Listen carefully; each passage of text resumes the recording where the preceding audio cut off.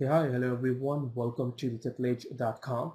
And uh, guys, today I will be showing you something really awesome that you can build using jQuery. Uh, what we would be doing is you would be building a live HTML and CSS editor using, uh, I would say, 20 lines of jQuery. So what I have built out here is, you know, a very simple HTML uh, and CSS live editor. So if I'm going to write my HTML here, I'm going to say, you know, uh, h2 tag with that says hello. Okay I'm gonna end it out here. And out here I'm gonna say h2 should have a color uh, to red. Or you know probably I can say green like this. And I can say body to have a color. Probably you gonna say background to black and you can see that you know uh, background changed on the very bottom. And here it says hey and here it says hello and I have the same HTML markup out here on the top and I have my CSS written out here. And if I want I can actually you know click this particular get source button and I can get the entire source code for these two files I wrote here I actually wrote here on the top and I can copy it and I can paste to my file. And guys please bear with me because I'm you know not well today so probably my, my voice is really crappy. But I actually you know want to show you something really awesome. That's the reason I'm uh, making the video. Otherwise I'm not actually you know in the position to make any recordings. Okay so what I'm going to do is uh, out here I'm going to create a new folder with the name called editor and all we need is one single HTML file. So I'm going to say index.html okay? And I'm gonna open it here.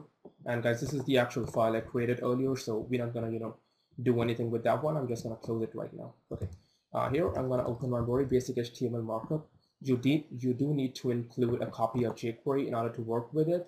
And you know just to make sure that you are not getting into any problem uh, just try to include the very latest one. So for now they're gonna be 1.7.1 okay? And we probably don't need any style sheets or title. If you want you can keep it. Uh, here I'm going to start with your very basic style. Uh, let's come here very first. Uh, I'm to say dev with an ID of box. Here I can say dev class to inner box. Uh, this one gonna be an HTML okay? And uh, this one gonna be CSS and this one gonna be the preview one okay? So we need three boxes. Uh, preview and probably you know for them we can say text area because we cannot write to a dev. We do need some kind of an input or text area to write our code. So for them i'm going to say text area and on the very bottom i'm going to say a dev okay? And here uh, we're gonna you know create our iframe uh, so that we can actually render everything like a new HTML document. So uh, we don't need any source or we don't need anything. We just need an ID uh, I'm gonna say uh, preview target okay? So preview target. Uh, out here on the top I'm gonna say class uh, inner box should float towards the left. Uh, should have a width to 47 percent a padding to 10 pixels and you know let's give them a border to gray color.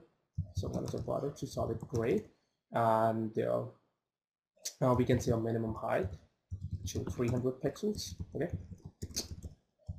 Minimum height to 300 pixels and for the preview uh, I can say uh, let's say the width to 97 percent.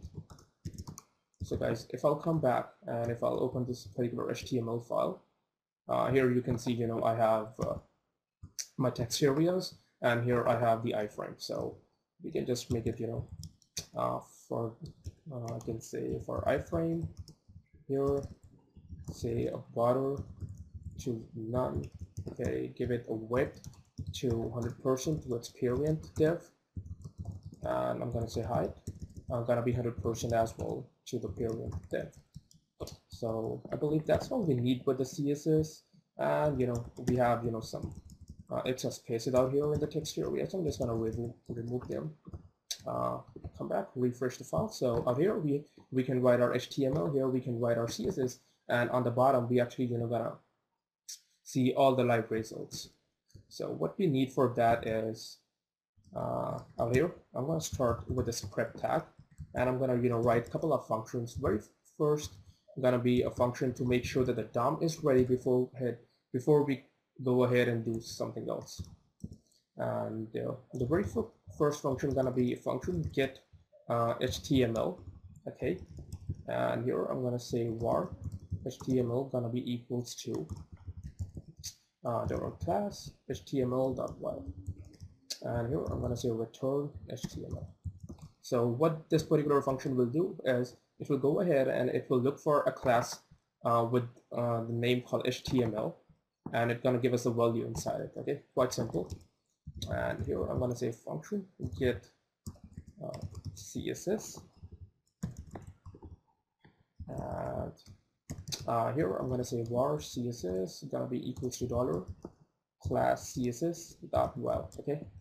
And we're going to do the same thing I'm going to say return CSS because the very next thing we need to do is we need to make sure that we are able to put everything uh, inside this iframe okay? So we need to put our css inside uh, the head of the html we're going to write inside this uh, iframe and everything we're going to write in the html needs to be inside body. So let me you know do it so it will make more sense to you.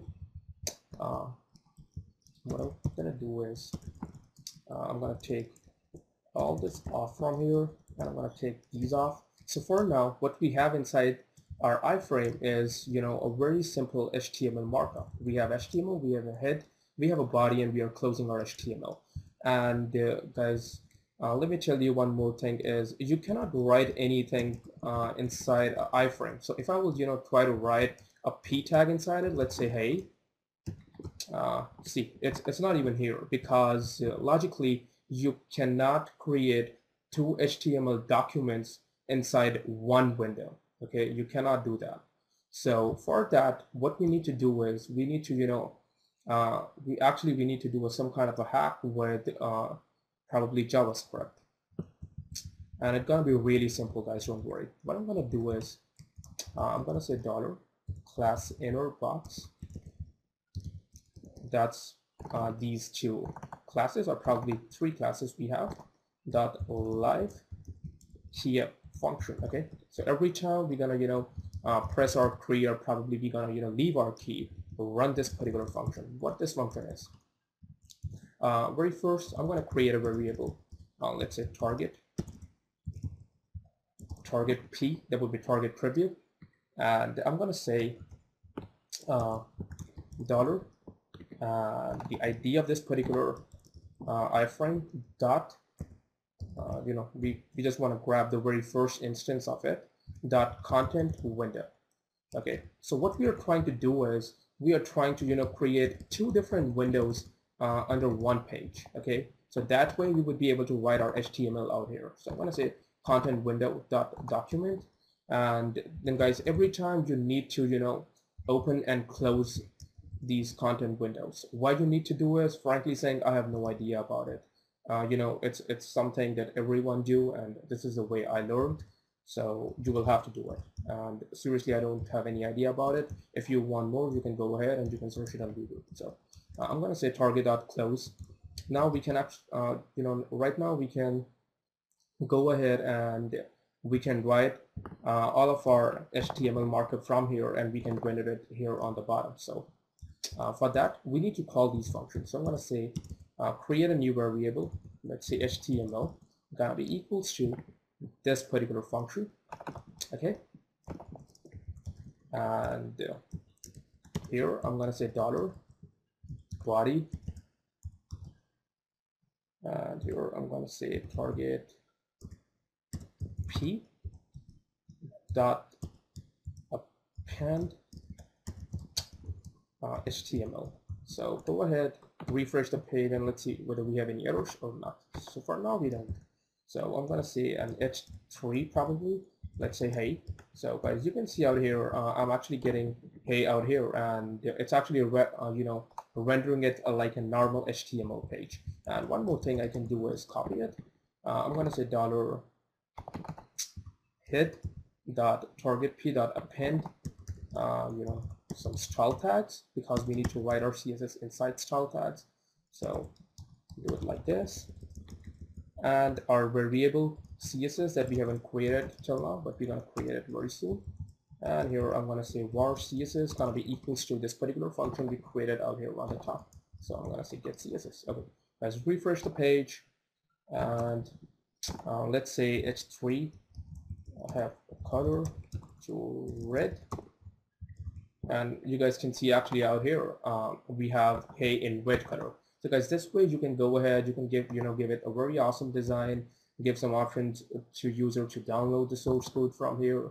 But for now I just want to keep it really simple and really basic. And I'm going to leave all the files as download on my website. You can go ahead and download download them from the download section. And the one thing that we are remaining with is a get source button. So they're going to be quite simple. So uh, here I'm going to say aref to nothing. Okay and let's say get source.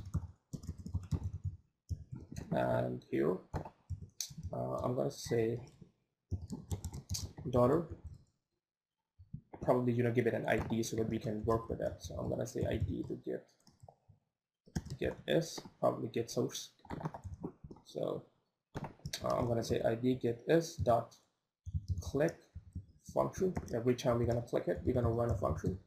So uh, here I'm to say dollar id, the id of our iframe dot contents.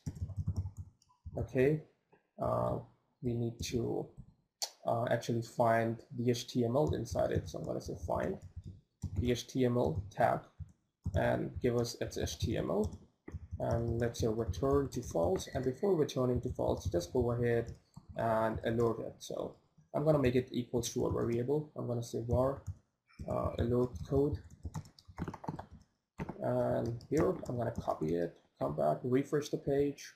Here we have that. So I'm gonna click it and guys oh that's something ugly. One second. Let's do it one more time. It's still not giving it